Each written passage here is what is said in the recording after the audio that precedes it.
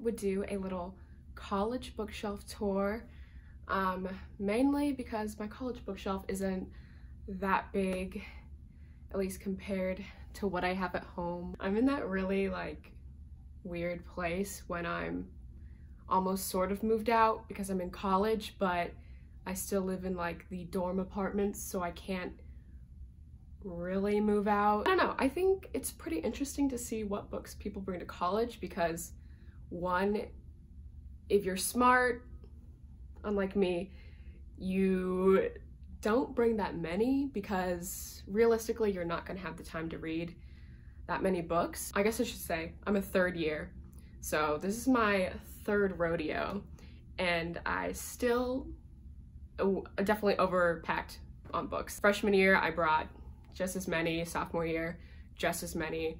Did I read them all? No. Will I ever learn? No. That's okay. That's part of the fun. Another reason is that, I don't know, at least for me, maybe, maybe I'm a little vain, but I feel like there's this part in my head that's like, what if someone cool comes over and they're like in your room and they look at your books and they judge you based off what books you have? That's like the make or break thing, even though has literally anyone ever done that? No. It literally doesn't matter. But I don't know. I think the books you bring to college are how you want people to perceive you sometimes. Sometimes it's just what books you want to read for fun. I have a pretty good mix of both. Um, I'll let you guess which, which are which.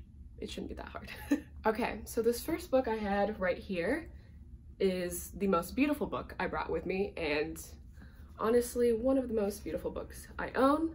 This is, oh my god, I can never say this. Anna Karenina? Is that how you say it? I used to say Karenina Karenina, Karenina. I'm not Russian, I don't know. Clown me for that, I don't care. Someone just tell me how to say it. Because I'm never gonna look it up. I'm never going to look it up. I've been wanting to read this for so long, and I'm just, I think in 2019, I read like the first hundred or so pages. It was December 2019, and I wanted to finish my reading goal, which was 50 books last year, and this was just taking too much time.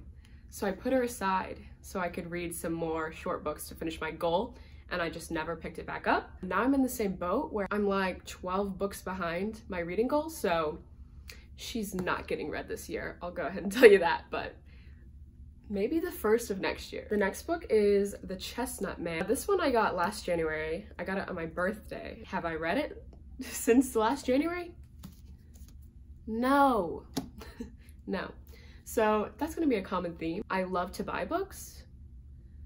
Um, reading the books you buy, it's unheard of. I got it because it's like a fun, I don't know that it's fun, I haven't read it.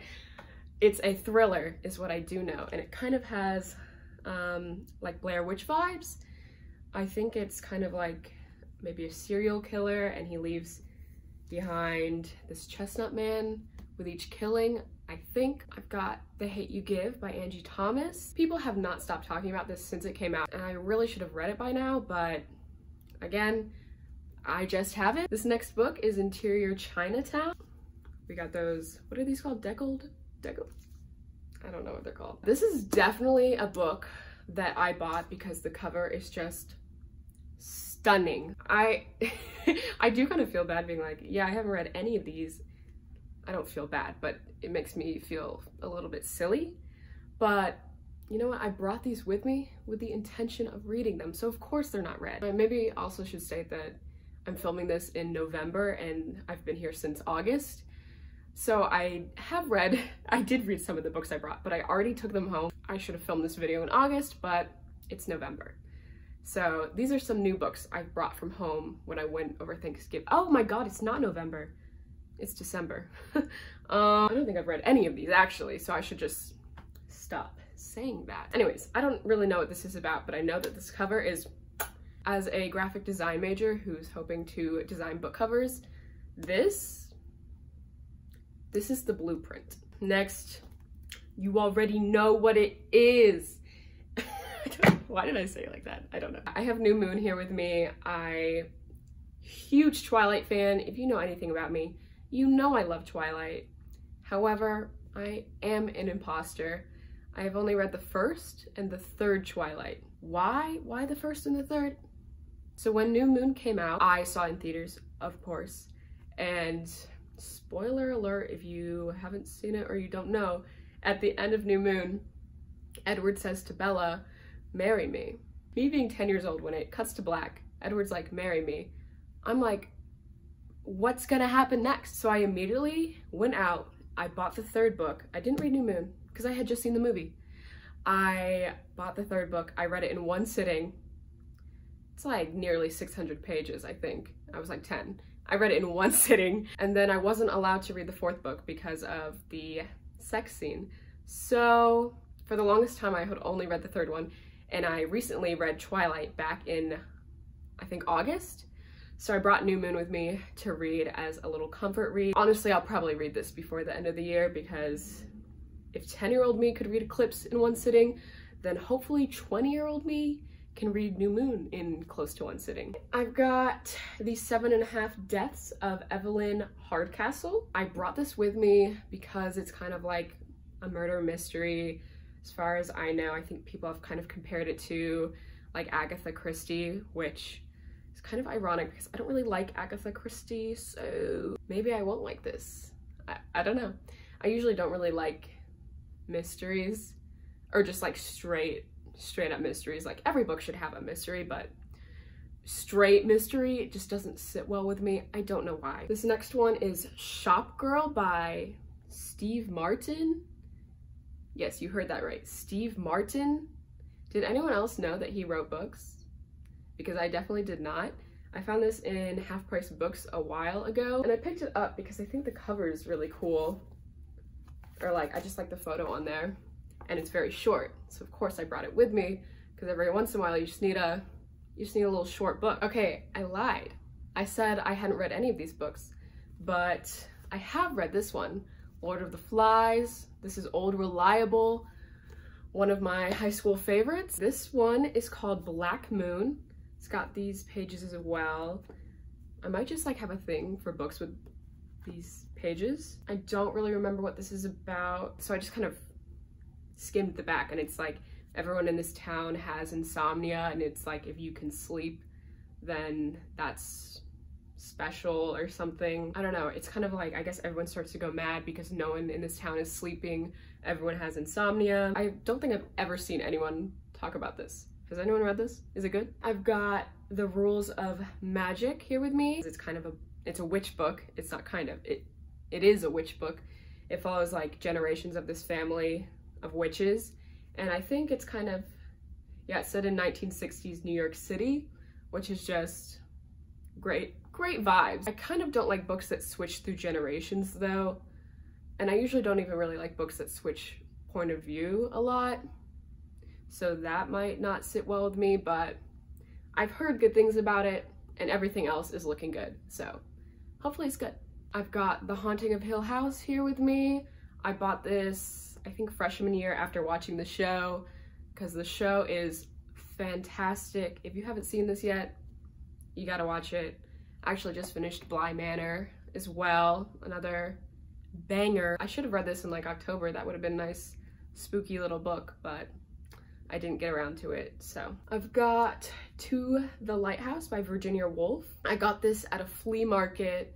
This couple here locally, they sell books at like flea markets around the city and I've run into them a few times and I always try and buy books from them. And I just wanted to read something by Virginia Woolf. I also thought this cover was pretty cool. It kind of looks like hand-drawn.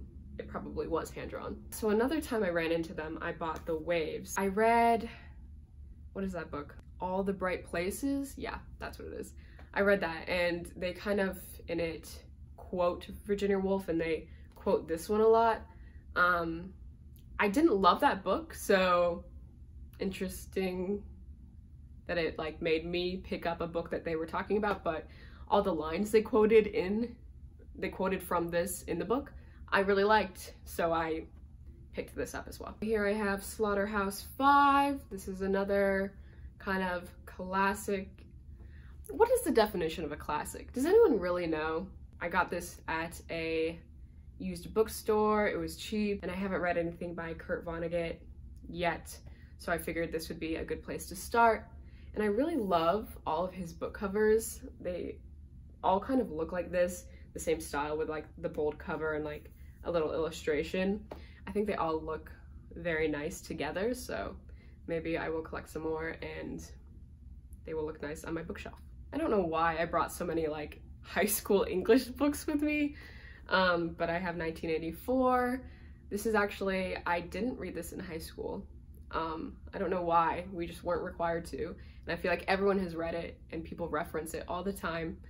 Um, I read Animal Farm, I love Animal Farm, but I just haven't read this one yet. This is Slade House, more of, more of this. I picked this up at Half Price Books a while ago because you open it up and it's like a cutout, but it's got this really cool map. And just like the whole design of this book, wow, hi. hi. The whole design of this book is just really nice. I think this is another like mystery Agatha Christie-esque book, um, which is funny because I literally just stated that I didn't like that kind of book, but sometimes when a book is pretty enough, you buy it anyway. This one's called The Circus. This is one that I recently picked up at the bookstore. I just kind of picked it up off the shelf. The cover just kind of caught my eye. I like that kind of line art. I thought the colors were cool, this purple. Um, it has a really interesting premise. It seems like the kind of book where maybe the main character is unreliable or you just kind of don't know what's going on, like what the whole truth is. Um, and I love, I love unreliable narrators, so that's why I picked this one up. Sticking to the theme of high school, high school English books, I've got The Catcher in the Rye. Um, I like just got this at Half Price Books. This is one of my favorite book covers of all time. I just think everything about it is just so nice. The colors, the illustration, and I don't really know anything about Catcher in the Rye, if I'm being honest. So I don't really know what this illustration means or has to do with the book, but golly gee. Uh, I don't know why I said that. Golly gee, am I excited to learn. This is a collection of poems by Sylvia Plath. I got this little book, this little edition, uh, when I was in New Orleans. Every once in a while, I'm just like, I want to read a sad little poem and think sad little thoughts. So I read some of this. Moving down to this area, this is like the overflow that should probably just go right here, but a lot of them don't fit vertically and I don't like the way that two stacks look for some reason. It doesn't look much better just being stacked there, but next I have Good Omens. This is actually what I'm currently reading. I'm about halfway through. I didn't initially bring this with me to school, but when I was home over Thanksgiving, I finished the book I brought with me, so I picked something up off my shelf at home, and this was that. Next, I have, I don't know how to say this, Candide? Is that? I feel like I'm making a fool out of myself by not knowing how to say these things, but Candide, this 18th century classic, is actually a savage, satiric thrust at philosophical optimism that proclaims all that proclaims that all disasters and human suffering are part of a benevolent cosmic plan. I like short little books like this. Short little book. I like short little books. I like Voltaire. I I have never read Voltaire. I don't I don't know that I like this, but I like satire. So hopefully I will. Next, I have this pretty I don't know, interesting looking book. I got this at the I think it's called the like nostalgic or like the classic no i think it's called nostalgic the nostalgic oh my god i just said that so many times the nostalgic shelf at half price books.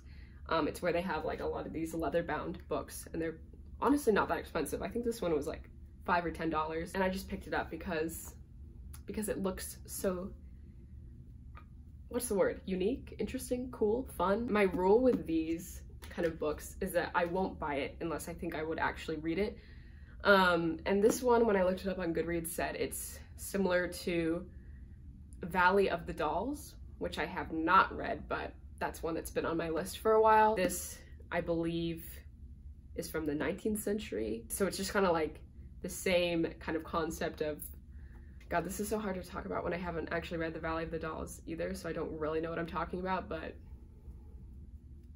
I think it has something to do with like alcoholism, basically. Do I even have to say anything? This is one that everyone is talking about right now. It's The Invisible Life of Addie LaRue by V.E. Schwab. I have heard so many good things about this. Something about Addie LaRue maybe makes a deal deal with the devil. I don't know if that's actually what it is. Makes some kind of deal. She lives forever, but I think everyone who gets to know her forgets about her or like she can't be remembered. Something. This one is the Southerner the Southerner Book Club's Guide to Slaying Vampires. Um, this one's by Grady Hendrix. I read his other book, My Best Friend's Exorcism, back in the spring, based off one of my friend's recommendations. Um, it was one of her favorite books. She loved it. I thought that one was pretty fun. I think I gave it like three stars because it just wasn't like, it didn't wow me, but it was like, it was a fun little read. And so the same friend actually lent me this copy. It just seems fun. It's like this group of, I think middle-aged women that like have this book club and they suspect that like vampires are in their town or something and I guess they're slaying vampires. This one was given to me by the same friend. She let me borrow it, um, The Silent Patient. She also loved it. Um, I think she recommended this one more highly over that one. It's like a thriller and she told me that there's some good plot twist in it, I believe. This is Olive's Ocean. I don't, straight up, I don't know anything about this book. I bought it. Oh, look, we got these fun little pages. I don't know. Oh my god. Oh my god. I should have cannot feel my foot, like, at all. Okay, I'm back. I had to stop filming because I was sitting on my feet for so long that I, like, could not feel them. So, this is Olive's Ocean. It's pretty short, and it's got big font, big column, love that. And it got this Newbery Honor Award. Do you remember like every book in elementary school had this? And like, I don't know, this is the first time I've seen this in years. Maybe that means this is like like a middle grade book. It might be. I've been like really reading a lot of middle grade recently. So if it is, I wouldn't mind. I would probably like it more, honestly. We've got The Devil All the Time. Everyone's kind of been talking about this recently with the new Netflix movie that came out with Robert Pattinson. I've heard this book is like really disturbing, creepy, um, and I like that. We've got Breakfast at Tiffany's, Truman Capote. I read a book by Truman Capote um, back in, I think January, maybe February, Other Voices, Other Rooms, and it really blew me away. It was really great. It was one of my favorites of the year. Other Voices, Other Rooms is like a Southern Gothic novel, and I am a fiend for a Gothic novel. So yeah, I loved that book and I loved his writing style. I think most people know Breakfast at Tiffany's is that famous movie with Audrey Hepburn. If you didn't know, it is a novel. This book is called Warlight. It is, well, I know it's a war novel. That means it's probably about World War II because apparently that's like the only war that you're allowed to write about. This is actually, it's an ARC. I used to work at Barnes & Noble in high school and if you didn't know, if you're an employee, they have a shelf in the break room that's just filled with ARCs that publishers that publishers send just any of the employees to read, which if you didn't know, an ARC is an advanced reader's copy, which means it's like an edition that is sent out to people who review books, sometimes YouTubers, booksellers at Barnes & Noble, I guess, to kind of read it and review it before it's actually out. This is a Clockwork Orange. Um, my friend Ella gave this to me because she somehow ordered two copies of it by accident.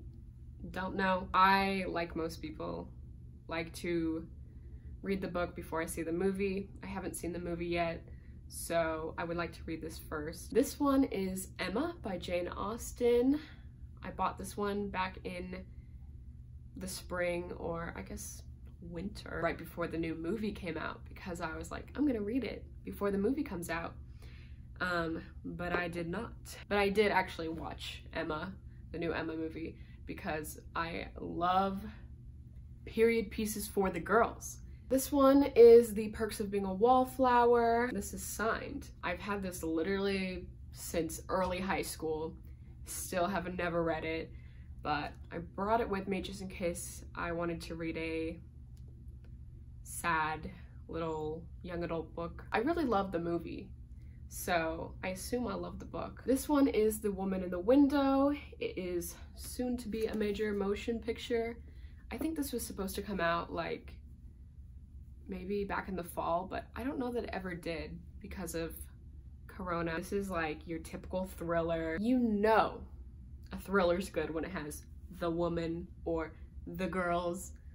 Why is every thriller like the woman, the girls? It doesn't mean it's good, but it means it's a thriller and it means I'm gonna buy it.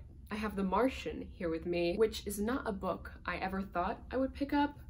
I'm not huge on sci-fi. I mean, I do like sci-fi, but I'm not huge on space books. Does that make sense?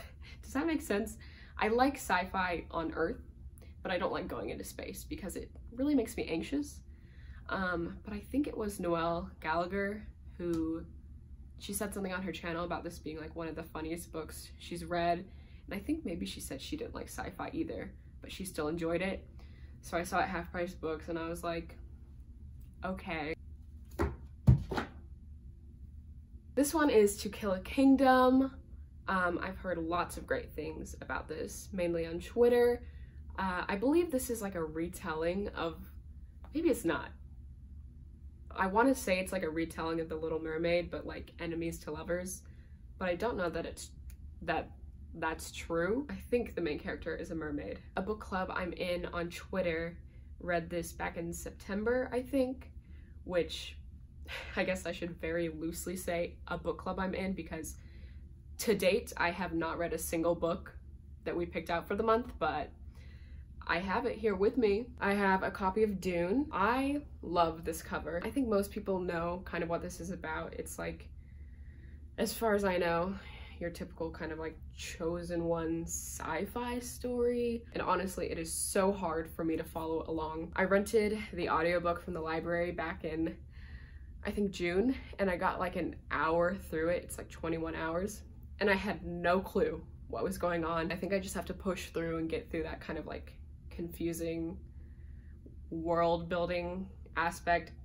That's what I really hate about like sci-fi and high fantasy people are gonna like hate me for this, but I hate world building that's like so confusing that I like don't know what's going on until like the second book, you know? Like I just want to know. I like fantasy, but I like when it's like fantasy in the modern world. So that's not what this is. This one is Caraval.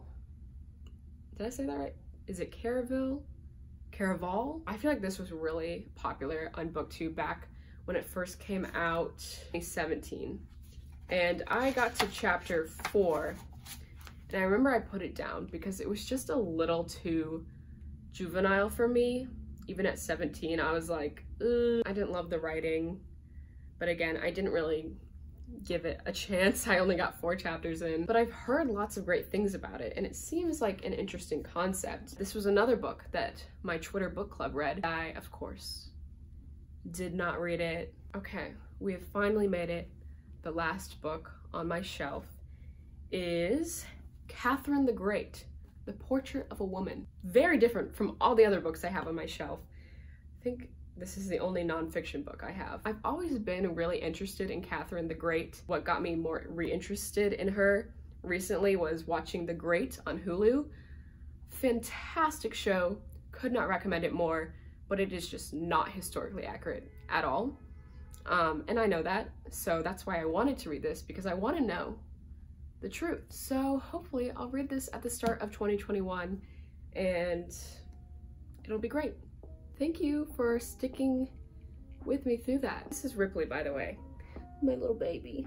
Again, thank you for watching. Please, if you've read any of these books, let me know. What I really want is just for people to find people to talk two about books because pandemic life is pretty lonely and literally all I want to do is talk to people about books. Please, talk to me. I, don't, I don't know how to end this. Um, bye.